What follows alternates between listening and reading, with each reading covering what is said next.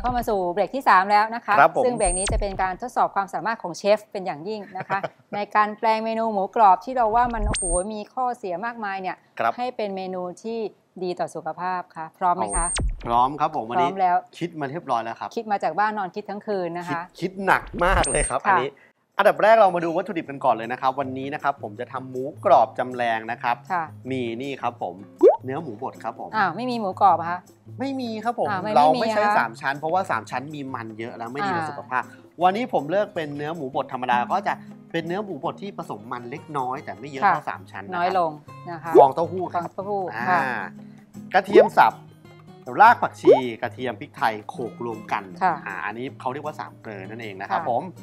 แล้วก็แห้วครับ ค่ะแล้วก็น้ำมันหอย น้ำมันหอย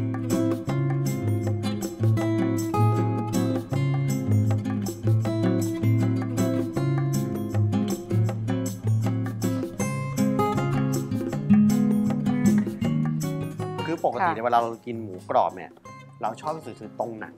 ค่ะ แต่ตรงหนังก็คือตรงที่มีมันติดมากที่สุด ค่ะ เพราะฉะนั้นวันนี้ผมเลยตั้งใจจะเอาฟองเต้าหู้เนี่ยมาให้รสชาติความกรอบแทนค่ะ หนังครับ ก็อันนี้แทนโอเคส่วนเนื้อ อันนี้แทนส่วนเนื้อครับ ค่ะ เนื้อหมูกรอบมันก็จะต้องแบบปรุงรสสักนิดนึง ผมก็ค่ะ เลยเอารากผักชีกระเทียมพริกไทยใส่ลงไปใส่คลรับงไป นี่เลยตำแล้วนะครับ เรียบร้อยแล้วค่ะก็แห้วนี่แทนอะไรครับ เหมือนกับมันที่แทรกอยู่ตามเนื้อครับ กรุบแล้วก็มีความกรุบด้วย อืมมันจะไม่กระด้างเกินไปถ้าเป็นค่ะเนื้อหมูอย่างเดียว งั้นมันจะดูตันไปใช่ ไหมคะจริงๆแล้วเออที่ดูตันเนี่ยมันคือหมูกรอบหรือผมครับคุณหมอเขาก็อาจจะทั้งสองอย่างอะนะ โอเคครับ เราก็ใส่แห้วลงไปนะครับคลุก ปรุงรสครับ คุณหมอค่ะช่วยผมสักหน่อยดีกว่า ได้สักกี่น้ำมันช้อนหอยดีครับคะ ผม หมดเลยครับ หมดเลย น้ำมันหอยลงไปหมดเลย โอเคครับผมหลังจากนั้นผมก็ค่ะ ใส่กระเทียมลงไปสักนิดหนึ่งอะอันนี้เพิ่มรสชาติเพิ่มรสชาติค่ะ นะครับ แล้วก็ ผมได้ไอเดียเคล้ามมาจากการทำไก่จ้อค่ะ อ่า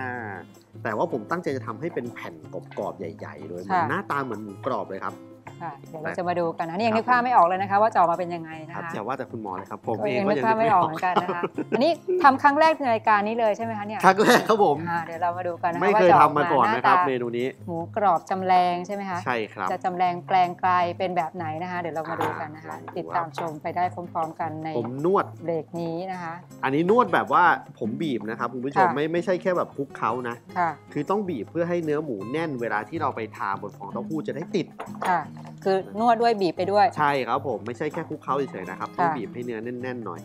จริงๆก็นวดแบบนี้ก็ได้ให้แน่นเลยค่ะโอเคอันนี้พอจะได้แล้วครับ จะเห็นว่าหมูได้เกาะเป็นก้อนเนียนๆแล้วโอเคครับค่ะ เสร็จเสร็จแล้วนะครับแล้วผม เดี๋ยว เอาไปทาค่ะเอาไปทามีมีมีที่รองสักหน่อยอ่าอันนี้มาเลยครับ นี่คือฟองเต้าหู้สดๆเลยใช่ไหมคะไม่ต้องครัทำบอะไรผมใช่ไหมไม่ต้องทำซื้อะไรมาครัจะเป็นแบบนี้เลยซื้อมาจะเป็นแบบนี้เลยอันนี้ตัดให้ไม่ขนาได้ดต้องพดีแช่น้ำอะไร ไม่ต้องเลยครับเอามาแบบนี้เลยหลังจากนั้นผมก็เอามานี่เลยครับ วางลงไปค่ะเอาหมูวางลงไปอย่างนี้ คือหมูกรอบเวลาเราจะกินมันก็ต้องเป็นแผ่นถูกไหมครับค่ะนั่นแหละผมก็จะทำให้เหมือนหมูกรอบเลยคือให้เป็นแผ่นอย่างนี้แหละค่ะครับไม่แต่ว่าอันนี้เราจะทำหนามากไม่ได้ เพราะว่าเดี๋ยวฟองจะเต้าหู้จะไหม้ซะก่อนที่หมูกรอบของเราจะสุกอืม ประมาณนี้ครับผมพยายามจะกระจายให้ทั่วนะอาจจะต้องระวังนิดนึงนะครับ เพราะว่าจริงๆแล้วฟองเต้าหู้นั้นขาดได้ง่าย ต้องเบาๆเบาๆอย่าอย่าแรงนี่ขนาดยังไม่ทอดยังหอมเลยนะคะกระเทียมพริกไทยผักชีนะคะคุณหมอถ้าอย่างนั้นระหว่างที่ผมทำไปค่ะรบกวนเทน้ำมันลงกระทะได้ให้หน่อยค่ะครับผม เยอะไหมคะ ครับอ่าพอดีหมูพอดีกรอบน้ำมันต้องเยอะครับ เอาเยแต่อะว่าเลยข้อดีของผมในวันนี้ผมใช้น้ำมันใหม่เยอะกว่านี้อีกครับเอาเยอะกว่านี้เหรอคะจริงๆแล้วจะบอกว่าหมดเลยครับเอาเอาจริงไหมคะใช่ครับเอาจริงผมเลยใช่ไหมคะหมูกรอบต้องเพาะน้ำมันท่วมเลยๆใช่ใช่ไหมครับเอาละครับโอ้นั่นแหละนะคะอ่าอ่าครับเปิดไฟแล้วระหนะว่างครอรับน้ำมันรอให้ร้อนนิดนึงอ่ามาแล้วนะคะมาแล้วนะครับหว่างไฟรอของเราระหว่างนี้ก็มาเตรียมค่ะแผ่ให้ทั่วพยายามให้หนาเท่า ๆกัน เดี๋ยวมันสุกไม่พร้อมกันค่ะอันนี้น่าจะได้สักสองแผ่น ครับได้สักสองแผ่นโอ้อันนี้เตรียมเต้าหู้มากับสักหมูสักสิบโลนะคะครับ คือเต้าหู้ก็ขายถูกกว่าหมูไงอ๋อคุณหมอซื้อมาเผื่อไว้ก่อน ใช่ครับผมโอเค ก็เลยได้เยอะนิดนึง เอาละแผ่ออกไปอืมประมาณนี้ครับ แล้วก็เอาอีกแผ่นหนึ่งมาประกบนิดนึง จะได้เพิ่มความกรอบให้กับเมนูของเรา อารมณ์เหมือนพวกกุ้งกระเบื้องอะไรอย่างเงี้ยครับ มแล้วก็อะ กรอบคราวนี้เดี๋ยวด้เรารอให้มน้ำด้วยมันร้อนแล้วเราก็นำลงไปทอดได้เลยครับ ค่ะ เป็นแผ่นแบบนี้เลยพอยกขึ้นมาปั๊บก็จะหน้าตาเหมือนหมูกรอบที่เป็นแผ่นเลยใช่ไหมค่ะ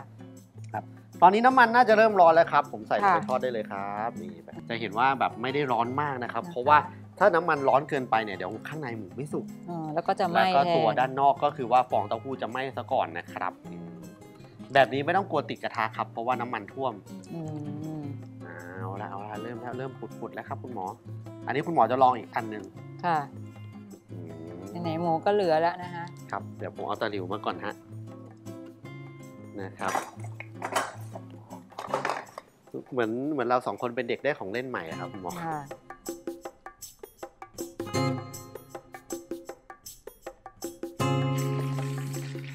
ใจเย็นๆนะครับ เวลาเราเราช้อนเข้าไปเราจะรู้สึกได้ว่ามันยังไม่เซ็ตตัว ค่ะถ้าเกิดรู้สึกว่ามันแข็งเมื่อไหร่พร้อมที่จะกลับได้เราค่อยกลับไม่ต้องรีบครับอ่านี่ฟองเต้าหู้ยังไม่นี่กต้รองอบจิ้มไหมคะเนี่ยจริงๆไม่จำเป็นต้องจิ้มครับเพราะว่ามันจงๆบางจะเพิ่แล้มวคก็ วามจิ๊บเค็มเข้าไปอีกอันนี้ปรุงรสแล้วด้วย ใช่ปรุงรสแล้วแล้วค่ะก็เนื้อหมูสับจริงๆแล้วถือว่าสุกง่ายครับ ถ้าเทียบกับค่ะ หมูเป็นชิ้น เริ่มกรอบตอนนี้เริ่มกรอบแล้ว คือเทคนิคการทำของทอดนะครับผมค่ะวิธีสังเกตง่ายๆว่าสุกหรือยังหลายๆ คนถามกันเยอะ คือปกติในอาหารเนี่ยจะมีน้ำอยู่ค่ะเวลาที่น้ำโดนกับน้ำมันจะเกิดฟอง สังเกตไหมว่าฟองมันเริ่มน้อยลงเรื่อยๆจากตอนแรกอ่าแปลว่าน้ำในอาหารเริ่มเหลือน้อยลง แปลว่าค่ะของใกล้สุกแล้วนะ มาดูกันอีกทีไหมครับคุณหมอว่าด้านล่างเป็นยังไงอืมว้าว สวยงาม สวยงามนะคะ สวยงาม สวยงาม สวยงามตามท้องเรื่องครับ เอาละครับเดี๋ยวรอฟองตรงกลางสักนิดนึงตรงกลางยังมีฟองอยู่เยอะหน่อยค่ะ เผื่อเดี๋ยวเนื้อหมูตรงกลางจะไม่สุก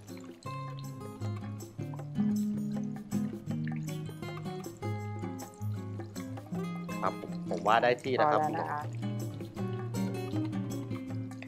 นี่เลย ผมให้คุณหมอดูปกติแล้วเป็นหมูโอ้ยกรอบมนี่ขออนุญาตสัมผัสใช่ใช่ใช่เลย กรอบไม่ได้เลยนะคะเรามาชิมอีกทีหนึ่งอะฮะ เดี๋ยวถ้าพักไว้ให้เย็นจะยิ่งกรอบมากขึ้นครับคุณหมอ ค่ะ รอชิมเลยนะคะเนี่ย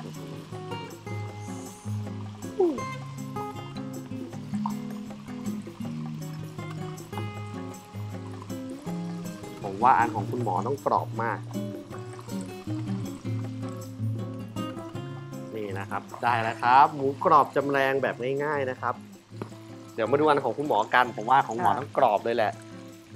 ดูแล้วไม่ธรรมดาอันนี้ ว้าว อันนี้กรอบสวยเลยอืมสุกทั่วนะคะอืมสุกทั่ว น่ากิน น่ากิน น่ากิน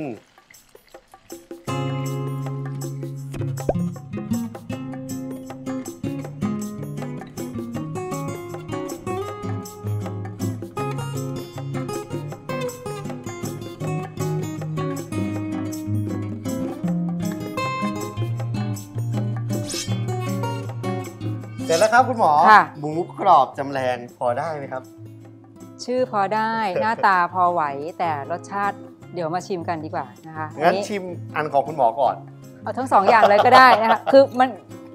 มันน่าจะคล้ายๆกันแหละนะคะอ่าแล้วเอาทั้งสองแบบผมชิมของคุณหมอกันเอาทั้งสองแบบอย่างละครึ่งโอ้โห นี่ฟังเสียงก่อนนะ ใช่ไหมกรอบเหมือนหนังหกรมูอบไหมครับเลยอืม อืมอื มความกรอบใช้ได้เลยกรอบเลยนะคะอืมอืมเพิ่มน้ำจิ้มสักหน่อยแล้วไปผัดกะเพราก็ได้นะครับ เนี่ยอืมอร่อยดีก็ได้ทั้งความกรอบที่เปรียบเสมือนหนังอืมได้ส่วนที่เป็นเนื้อเน้นๆนะคะ แล้วก็ที่เชฟบอกว่าหมูสับก็มีมันแทรกนิดหน่อยอืมก็ได้ทั้งครบทั้ง 3 ส่วนทั้งหนังทั้งเนื้อ ทั้งส่วนมันนิดๆหน่อยๆก็ใช่เลยครับ น่าจะผ่านนะคะสำหรับ หมูกรอบจำแรงเมนูนี้นะคะ อาจจะไม่เหมือนหมูกรอบซะทีเดียว แต่ถ้าถือว่ามีความใกล้เคียงครับผม แล้วก็เป็นเมนูที่ดีต่อสุขภาพมากกว่าการกินหมูกรอบแบบปกติครับ ลองทำกันดู เพราะว่ารายการของเรายังมีเมนูเด็ดๆ มาฝากกันอีกแน่นอนครับค่ะพบกับเราสองคนได้ใหม่กับรายการแฟ้มลับคดีอร่อยซีซั่น2วันนี้ต้องขอลาไปก่อนนะคะ สวัสสวัสดีดีคค่ะรับ